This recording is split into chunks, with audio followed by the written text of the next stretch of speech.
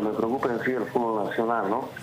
Pero es bueno que ustedes sepan que hace un par de, años, ya unos tres años atrás, sí, tres años, yo presenté un anteproyecto a, la Federación Boliviana de Fútbol, donde nunca eh, voy a priorizar ni voy a anteponer lo económico para servir a mi país. Evidentemente, no puedes trabajar gratis, no puedes regalar tu trabajo, pero tampoco puedes seguramente sonsacar lo que no hay. De todas formas, eh, pero poder tener la sensación de trabajar, sea esta dirigencia, sea los que estén al mando de la, federación, ojalá que mínimamente nos den las condiciones de trabajar al cuerpo técnico, de que en definitiva son ellos los que seguramente serán los protagonistas de, esta nueva ilusión que emprendemos eh, nosotros como cuerpo técnico y seguramente ellos como, futbolistas, ¿no?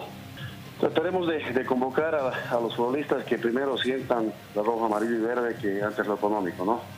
El futbolista boliviano o el que pretendamos manejar nosotros tiene que sentir que para nosotros es todo el país, tenemos que entrar a, a morir en el campo de juego. Eh, son batallas que hay que ganarlas y obviamente trataremos de trabajar para ellos. Y obviamente, como tú ves, los problemas, eh, los problemas dirigenciales que hay en este momento, ojalá que, que se solucionen en beneficio del fútbol nacional siempre, ¿no?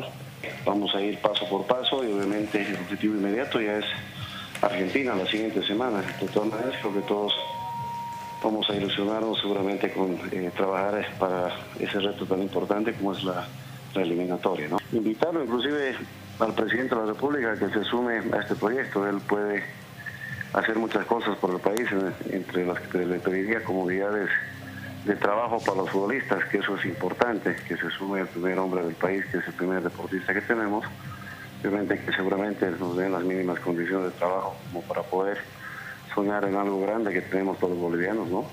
Trataremos de darle oportunidad a la gente joven, la gente que esté pasando un buen momento, y obviamente que aproveche la oportunidad, porque muchas veces no solamente pasa por la oportunidad, sino pasa por aprovecharla. Entonces, trataremos de dar la oportunidad a la gente joven, a la gente que quiera hacer algo en la vida y que quiera obviamente aprovechar la selección nacional. Vamos a tratar de poner, querido Juan Carlos, 11 gladiadores, 11 leones, 11 fieras que tengan la ilusión de dar alegrías al país.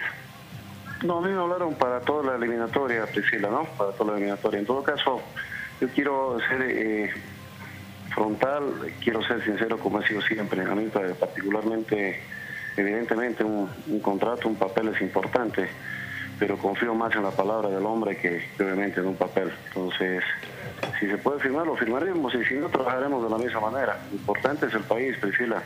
Lo importante es que los dirigentes sean los que están hoy en día, los que han estado eh, anteriormente, los que vengan, tengan la ilusión de darle eh, nuevas alegrías al país. Eso creo, creo, creo, creo que es lo más importante que debíamos pregonar todos los bolivianos hoy por hoy. Personalmente pienso invitar a, a Carlos Borja, pienso ah. invitar a Juan Manuel Peña, al mismo William Ramallo y por qué no Vladimir Soria, si es que quiere